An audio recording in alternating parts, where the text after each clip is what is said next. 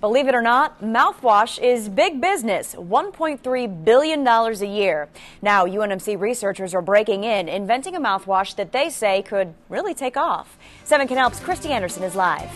Brandy, they've discovered a mouthwash they say is unlike any other on the market, one that does a better job preventing bacteria and bad breath.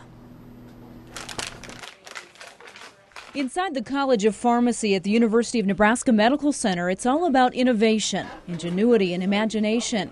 Now, a new invention that took them by surprise. Is uh, interesting. We actually stumbled into that. While researching ways to prevent oral bone loss, Dr. Dong Wang instead invented a mouthwash that's different than what's on the market.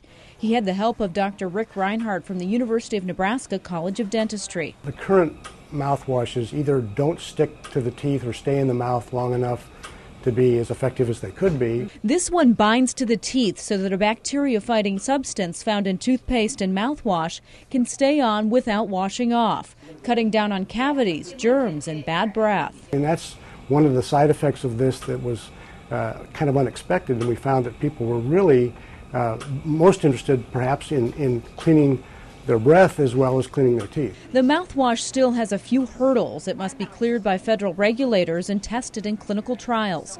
But doctors Wang and Reinhardt are hopeful that in a few years, consumers may be able to buy it. And this isn't the first product invented by researchers at UNMC's College of Pharmacy. In fact, a creatine is being sold at GNC and other nutrition stores around the world, and a topical pain relief product called Stay Active is currently being sold online and at Kohll's Pharmacy. Brandy. Thanks, Christy.